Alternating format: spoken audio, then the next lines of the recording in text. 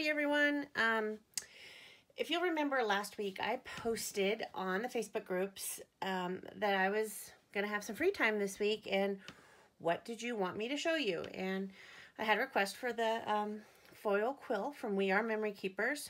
So let's do that. So when you buy the bundle, you get a lot of things. And more important, most importantly, there's three quills. And you can look at them, and I don't know if you can see that little tiny leaf right there. They both have them. This one's probably easier to see, or they all three have them. Me take this off. So there's the, so that's how you can tell if you've got, um, this one's really thin. So I would say that that is the fine point. No, I'm to say this one is the fine point. This one is regular, and then this one is bold. So we're going to start with the fine point one. And the quill, it has to heat. So I got to unplug it. And oh, and it comes with these adapters for different machines. And um, I didn't pull those out because I only have a Cricut, but the adapter, C for Cricut, you just screw it onto your quill and it'll go in your pen compartment in your machine. Now, while I do this, I want to point out that Cricut does not support or endorse this product. In fact, they said it could void your warranty because they have not tested the effects of the heat on the platform of the machine. And speaking of the heat, I seem to have lost my heat shield in this mess of what I do. So there it is. So it also comes with this little heat shield. I'm not worried about um, the warranty on my machine because my machine's already out of warranty. So um, I'm going to use it. I have been using it and I haven't had any problems. So I'm going to move the camera. Hopefully I don't jiggle it too much. So you can see um, my machine. And I'm just going to push my finger under here and pop out the pen adapter that's in there. And then I'm going to put, put the quill in. And I plugged it in to an external um, source so that, I mean, I don't know why. I just read that that's what you're supposed to do. You know, I know your maker has the USB port on the side, but I've read reports that it's just better to plug it into an external source. So I did that. So you can see it's lighted up it's getting power and it's heating. And I have the heat shield under here to protect my machine. so while that does that, I've already got, um, I just picked an S off of the split monogram cartridge and I'm going to do that. I don't have an S, but it'll look pretty. I mean, I don't have a need for an S. So what I did, so that we can demonstrate all three of the adapters, is I've cut three pieces of cardstock, just scrap cardstock that I had in my stash. And I cut them at three and a half by three and a half. And then I cut three pieces of foil to fit over the top of that. Now I'm going to move the camera back to my mat while this heats up. I had my camera all set for my desk and then we used it to take Easter pictures. So it's all kind of wonky right now. But you'll see on my mat where I've done this before, um, I had residual foil left on my mat. So I have a dedicated mat for using my foil quill because um, it, it, will stick, uh, stick to your mat. So hang this up so I don't lose it in the mess that is my desk. So what I'm going to do is I'm going to put a piece of my cardstock down here in the bottom corner can't really see that. I'll try to move it up. And then I'm going to put a piece of the foil on top of that. Now it's not going to stay. So you're going to just use some tape. You could use washi tape. I just grabbed some painter's tape that I had sitting here on my desk. I don't need it to be that wide. So I'm going to just tear off some pieces and put it really close to the edge of your foil Because if your design goes where that where your tape is, it's not going to to foil. And you want it to be really smooth.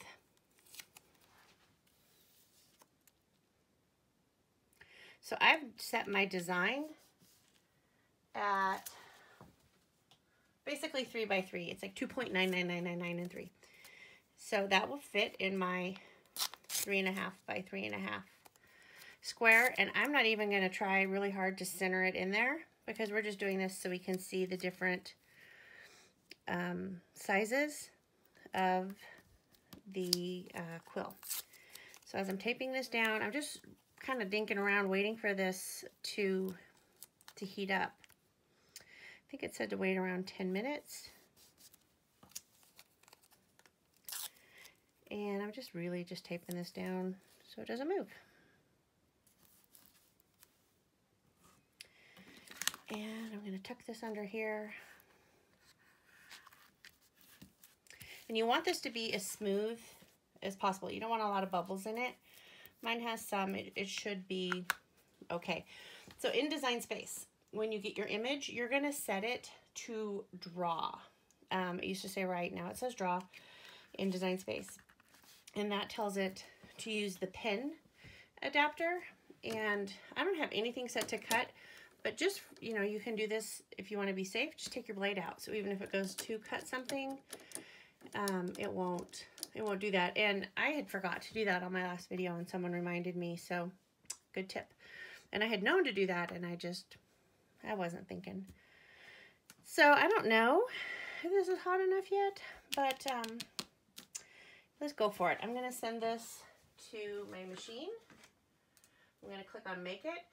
Oh, and then, of course, as you know, it always comes to that top left corner. I need to draw drop it down here to this bottom bottom area. So I'm going to move it down. And I'm not showing you my design space mat because my virtual mat here because y'all know it. And hopefully I'm not getting this into any of the tape areas. So let me see. I'm about three and a half. Well, I am three and a half. So, Okay, so we're gonna we're just gonna run with this and hopefully this quill is hot enough. And before I do that, I'm gonna tip this again so you can watch it. Stay, don't move. Okay. I'm gonna tell it to continue.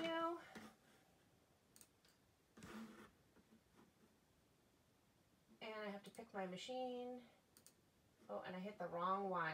So you gotta hold on a minute. It's looking for a different machine I don't have plugged in right now. So basically what I'm gonna do is I'm gonna do the same image three times with each of the different um, tips so we can see the difference. And oh, come on, it's still looking for this wrong machine. Oi, it's Monday and Mondays are hectic in my house.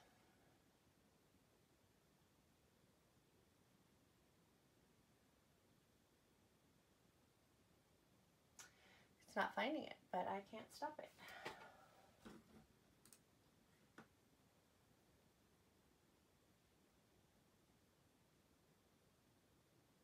Hurry up. Our quill's gonna definitely be hot enough now.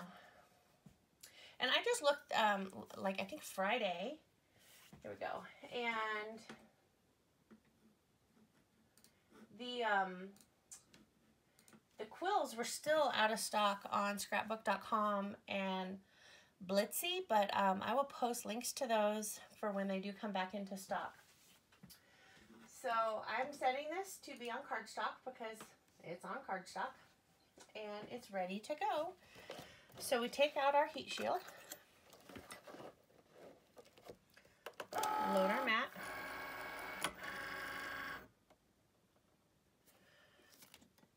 and push go.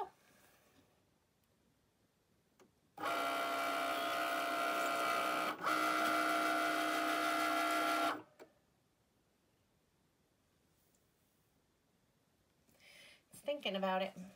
And you know, this heat shield is like totally cool. It didn't even get hot.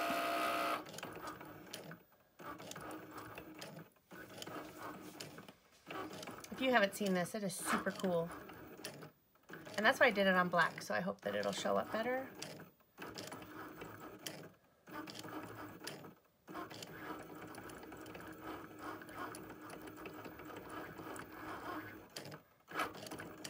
And I did the split monogram so you can see all the little swirlies. I didn't want to just do a, a simple letter. Like I said, I just picked S because that was the first one that came up. I don't have a need for a monogrammed S. So if someone does and wants this, give me a shout out. I'll mail them to you.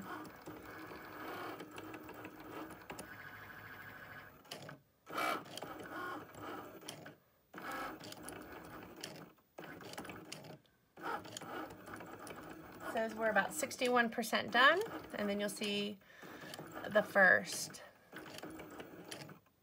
Like I said, this is the fine point. Um, as soon as the, the cut is done, or it's not even a cut, as soon as the quill is done, I'm going to, before we even take this off the mat, I'm going to pop out the quill and put in the, the regular size one so it can start preheating while we uh, look at this one and set it up for the to do it again.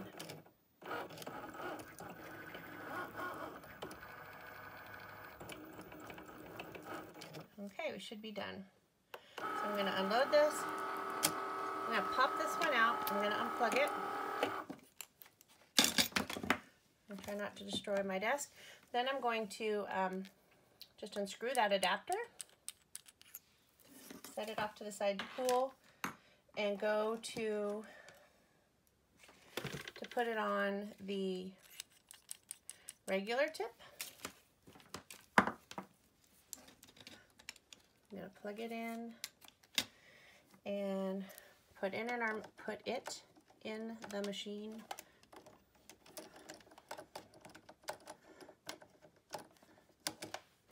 And don't forget your heat shield goes underneath. Okay, so now I'm going to bring you back this way and try and tip you back. And then I'm just going to peel this off.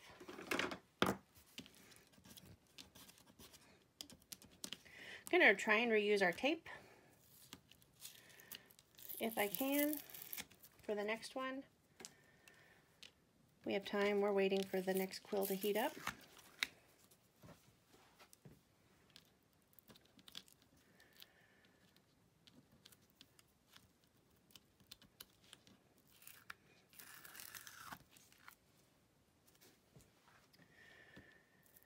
Oh, you guys, these are so pretty.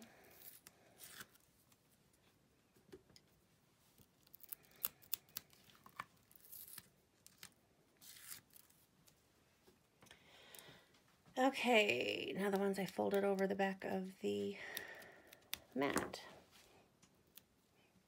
I'm just to go like this.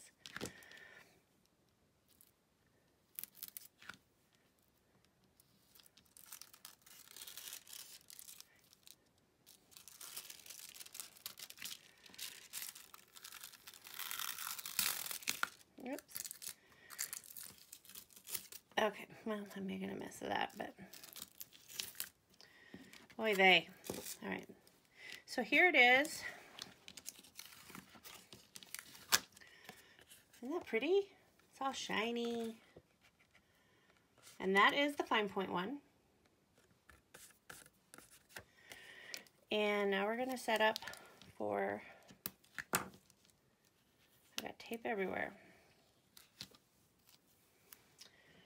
So now I'm just going to take another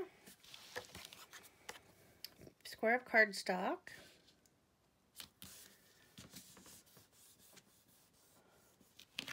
You know, I've got a pin here. It's a gold metallic marker. And I'm just going to put on the back, fine, so that I know when I go back to these that this was the fine point blade. Or it's not a blade. Why do I keep calling it a blade?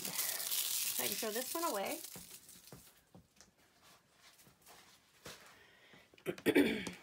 Put our next piece of foil on top. And see again, it, it uh, stuck my foil down to the mat. I'm gonna reuse some of this tape. It didn't really appear to move a whole lot, so my little taping job must have been good enough.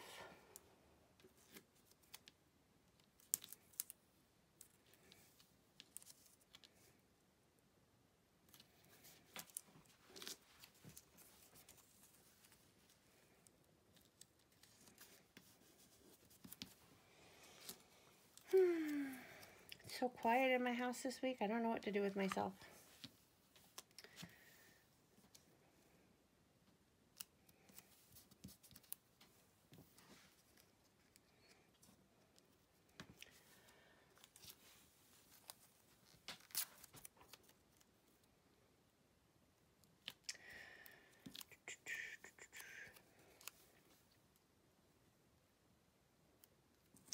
Now because I haven't done anything in my Design Space software, I'm just going to be able to reload the mat and cut it again, or it's not cut, I got quit saying cut, and foil it again with it still being in the same location on the mat. It, it just, see it's, well you can't see it, it's still flashing. So if I just hit load and it'll go again.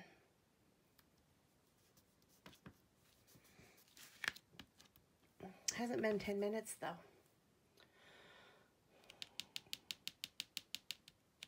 Does it really take 10 minutes? I don't know.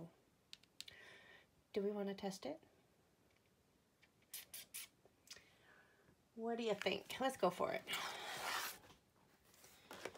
So I'm taking out, oh, you gotta move you. I forget, you can't move.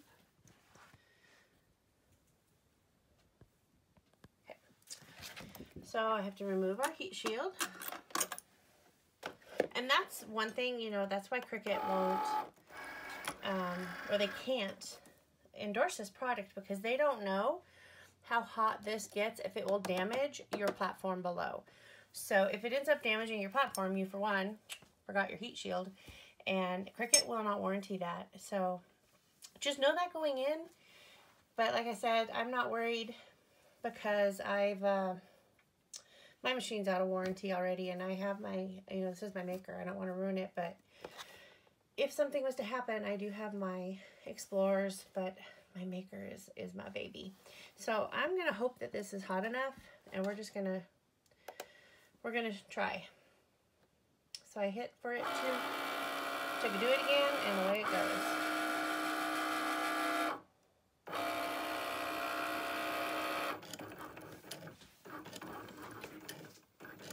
I remember when I got my very first Cricut, I used to just sit and watch it cut, and I was fascinated by it. And now I'm, I'm doing that again with with this foil quill. I think it's just so amazing that it can it can do that.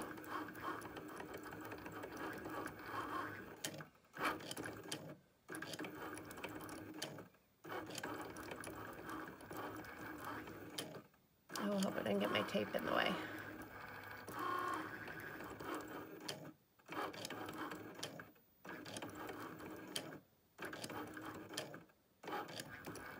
Oh, and I So many things.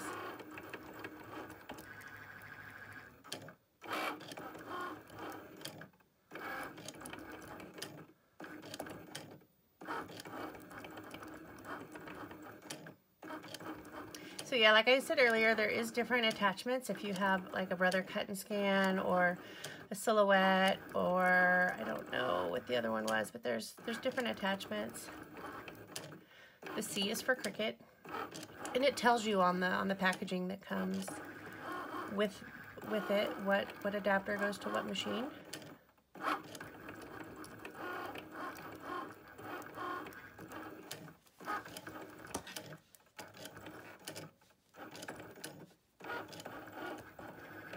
So you can use any any image you have in your design space. You just have to set it to write it or draw it instead of cut it. So, okay, this is done. And I'm going to do the same thing I did before. And I'm not even going to touch this. I'm going to unload this quill and put the other one in so that it can start heating up.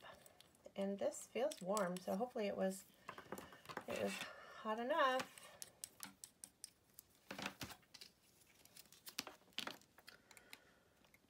And I just have an extension cord running up on my desk and it's kind of mounted on the back side, so it's always sitting there for me. Okay, so it's lit. Yep. And we'll come back to, remember this was the fine one. Oh, forgot my heat shield. We're going to come back to, to this while that heats up and remove the tape.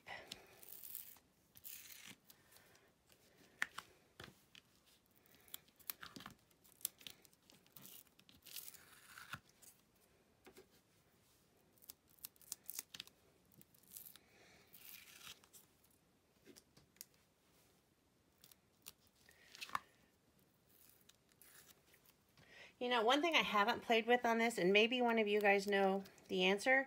You know when you when you set in your in your design space the machine to write, you get the different pin options. I haven't played with that. So I wonder if it would look different, you know, you know, using different pin types, like the gel glitter pins versus a fine point pin. Does it give it more pressure? That I don't know. I haven't played with it yet. So there's this one.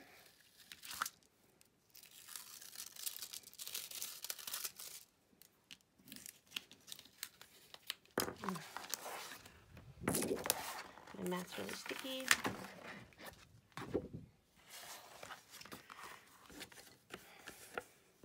So this is the regular tip, and that is the fine tip. So it is a little bit thicker. And I'm going to write regular on the back of this one. I just stuck it to my mat.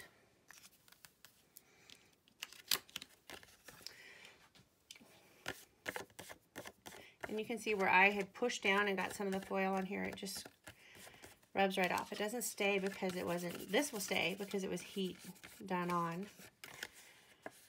So there's the differences. Hopefully you can see it. I can see it really well here in uh, live in person, but I don't know if it's coming across that way with my light glares. Can you see that? Okay, so now throw this one away. And then I have a last piece of cardstock for the bold tip.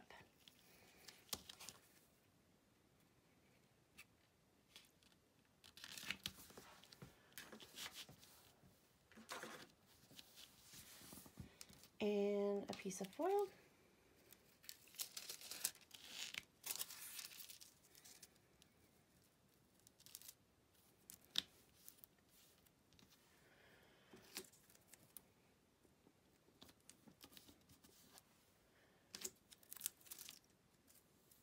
Really looking forward to having this at uh, Christmas for my Christmas cards. I think it's going to just be really a nice touch on those.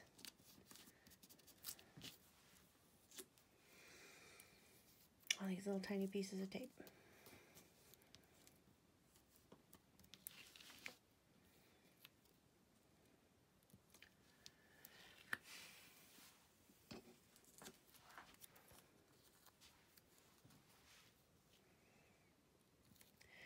I'm just putting extra little pieces on here because we have time to kill.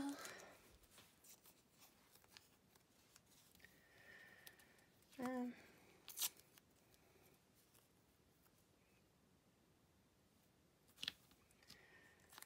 okay, so I'm going to hit pause and then I'll come back before I stick it in the machine because it hasn't been 10 minutes and I want to make sure we get a good, um, good impression. So be right back. Okay, it has been, I think, 10 minutes. Um, I didn't time it, but I think we're ready to go. So let me move you back over here. And I gotta remove our heat shield. And you know, that's not even hot at all when I take it out of there. So I'm not worried about it melting my machine at all.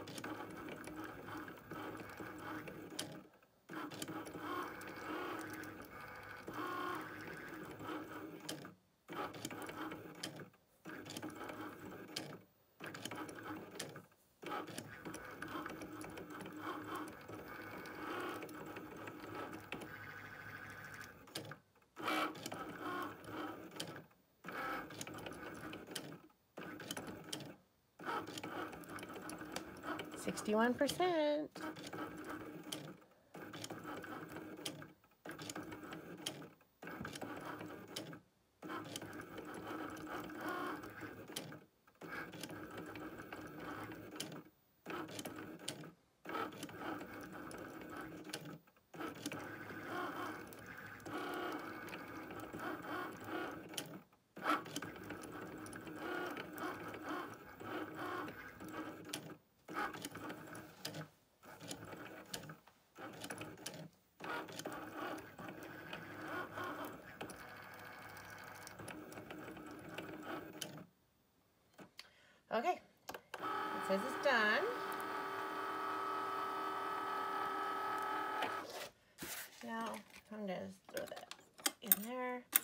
Because we're not moving on to another. There's only the three.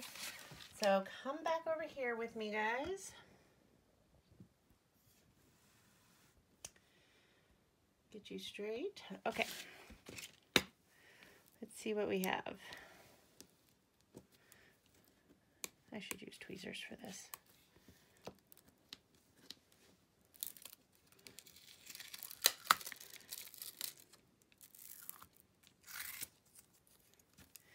And I'm gonna, since this was the last one, I'm gonna not save my tape.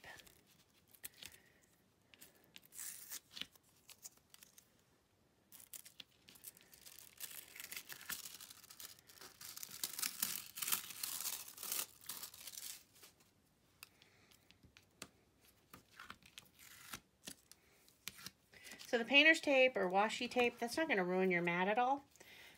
So something to just think about if you ever need to tape something down to your mat.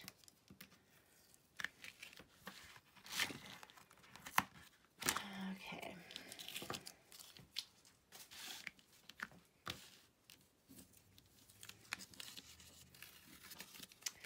So this was the bold. Get this out of the way.